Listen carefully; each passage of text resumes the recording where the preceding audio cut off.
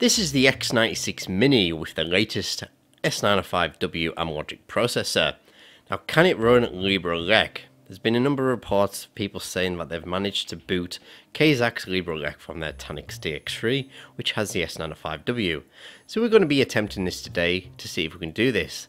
They've said to use S905X DTB files and if you're not sure what the hell that is don't worry I will get to that throughout this video.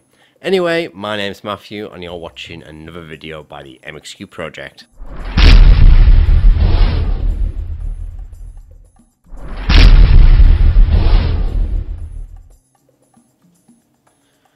So let's go and download LibreELEC for the S905. I'll leave those links in the description for you. Click on the 8.2 as shown, then click on just 8.2.2 I think it is. It'll probably change depending on when you watch this video. Now download this file just, just here. This is the one I'm going to be using. You can download the one above it, but I'm going to be using this one, so download this one. Now make sure that downloads and then transfer it to your desktop, you might need to unzip that. And then once it's unzipped, you should have a .image file as shown. Now, next thing we're going to be using Win32 Disk Image. Install that. Again, links will be in the description. And it's very simple to use this program. All we're going to do is load up that um, image file that we've downloaded. Obviously, insert your SD card, so that's a good time. Fire it into your laptop or PC. And then select it using Win32 Disk Imager. And then select the image file as shown. So there's this one here and then click open and all you need to do now is click write. So now we need to go back to KSZAQ's S905 directory. Now we need to go and grab something called a DTB file and you might have noticed just under here that it says device trees. Now this is where all our DTB files are stored. So click into there and then click S905X. Now the reason we're doing that is because these DTB files are the ones that are meant to be reported to work on S905W devices. So this is the one we need. So we'll just click into here. And then you'll be presented with all these different ones. Now the X96 Mini has 1GB RAM. I do think there's a 2GB version. But the one just on top here is the one I'm going to be using. If you've got a 2GB RAM S905W device, then you can attempt to use all these 2GB RAM DTB files. But I've got 1GB RAM, so this is the one to be using. So I'll download that. Then we can move on now to the final step of this prepping the SD card. Okay, so let's grab that DTB file we've downloaded and we need to rename it to dtb.img. So dtb.image as shown.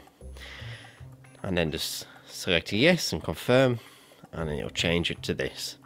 So it's now an image file. Now what we need to do is we need to open up that SD card, the one we've just burnt LibreELEC to. We need to open it up and then we need to find the DTB file that's already preloaded onto that image file and we need to delete it again delete that image file and that image file what we've just renamed dtb.image all you got to do is simply drag and drop into the SD card and now we can move over to the actual boot process using our X96 Mini Right, so this process is pretty much the same as everything else. We've got our SD card, we've got our TV box ready, but you might need to swap around those DTB files a few times before you actually get it to boot. But that's pretty simple, you can just follow the DTB process before. So insert our SD card into your device, so the X96 Mini which I'm using here with the S905W. And then we need to locate the reset button. So on this device it is inside the AV port, but it could be somewhere else on your device, it really depends on your hardware. The W95 for example it's got it underneath. That is a Beelink product by the way if you've seen our review and our update guide on that. So inside this AV port there is a little button and you need to locate that with something thin and sharp like shown. Make sure you actually find it because it can be difficult sometimes. Insert your HDMI cable, get your TV ready, ready to go so you can recognize whether it's working or not. And then simply hold in this little button and then apply power. This is exactly the same process for pretty much all TV boxes that we've booted LibreELEC from. And then once it, you'll see the LibreELEC logo, you can release the reset button and you won't actually have to repeat that either. So there we go. So there we go, the X96 can boot LibreELEC. I was quite lucky actually just to select that one DTB file and it works straight away. You might need to change a few of those DTB files around, so follow that guide again and just try the different ones until you get one to boot. Just make sure you delete the DTB files before you actually attempt to use another one because you don't want two on there, of course. So as you can see, Wi-Fi working as well, USB ports are working, and yeah, it's working absolutely great. I can't, I don't know whether it's going to be perfectly stable or not.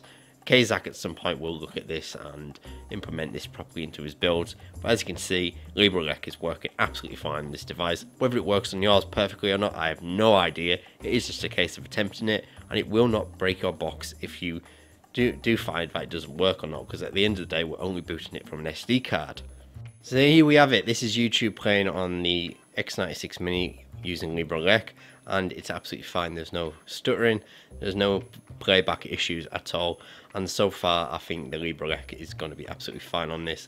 Obviously, KSZAQ will have to look at it at some point, I would imagine, to see, you know, you know, give out some proper support for it and you know fix any issues that might be there but I'm not aware of you know it won't be perfect there will be stability issues somewhere I'd imagine but as far as I can tell it's running absolutely fine you'll be able to install add-ons on this You'll be able to install builds onto this, I would have thought. You might even be able to install the MXQ Retro Gaming Experience build onto this. There's no reason why you shouldn't be able to. I'm sure there's some stability issues somewhere. But as far as just a you know basic system so far, Kodi is absolutely fine. And if you're not familiar with LibreELEC, it's just an operating system built to purely run Kodi. So as far as Kodi is concerned, it's absolutely fine. So I really hope this you enjoyed this video. Really hope it helped you get more out of your S905W device, especially this X96 Mini. It's very very cheap and it can do so much stuff so far. So really good stuff. I mean the Android system on it is pretty good anyway. I mean, it's not perfect, but you know, it's £19, which is about $24. So what do you expect, basically? Anyway, my name's Matthew, and you've been watching another tutorial by the MXQ Project. Don't forget to visit the website, mxqproject.com tutorials, reviews, etc. on there. Twitter at MXQ Project, as well as the Facebook group. Again, all those links will be in the description. Please comment and tell me how you got on with this, if it worked, if it didn't work, and so on. Anyway, thanks for watching, guys, and we shall see you very, very soon.